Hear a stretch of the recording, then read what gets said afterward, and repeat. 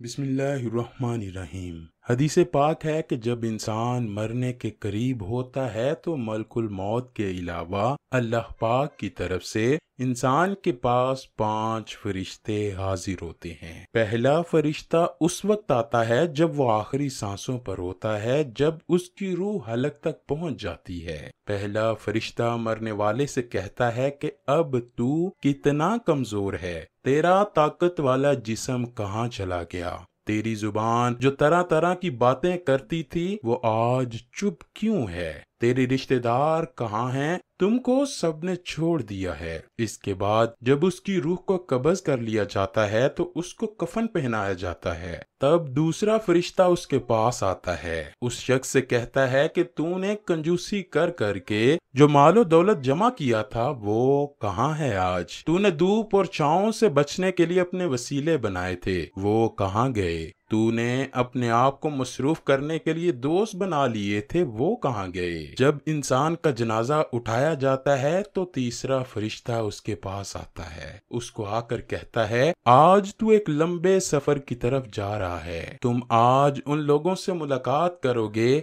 जिससे पहले तो कभी भी नहीं मिला था। आज तू ऐसी तंग जगह पर दाखिल किया जाएगा, जिसमें आज तक पहले दाखिल ना हुआ था। अगर तेरे अमाल अच्छे हुए तो अल्लाह पाक तुमसे राज़ी हो जाएगा। अगर तुम्हारे अमाल अच्छे ना हुए तो ये तुम्हारी बदबख्ती होगी। जब उसको कब्र में उतार दिया जाता है तो चौथा फरिश्ता उसके पास आता है। और आकर इंसान को पुकार कर कहता है ए इब्ने आदम, जब तू ज़िंदा था, तू ज़मीन के ऊपर चलता रहा। अब तू मर गया है, अब तू इस मट्टी के नीचे आ चुका है। कल तक तू इसके ऊपर तकबर और गरूर के साथ चलता था। अब तू इसके अंदर दाखिल हो चुका है। कल तक तू इस ज़मीन पर अकड़ कर चलता था। आज तेरी बदबख्ती कि तू इस ज़मीन के अंदर दाखिल हो चुका है। जब इंसान की कब्र पर मट्टी डालकर लोग जनाजा पढ़कर चले जाते हैं तो पांचवा फरिश्ता उसके पास आकर कहता है ए ज़मीन के अंदर आने वाले इंसान, अब तो सारे रिश्तेदार तुझे यहाँ पर छोड़कर चले गए हैं। अगर वो यहाँ पर खड़े भी रहते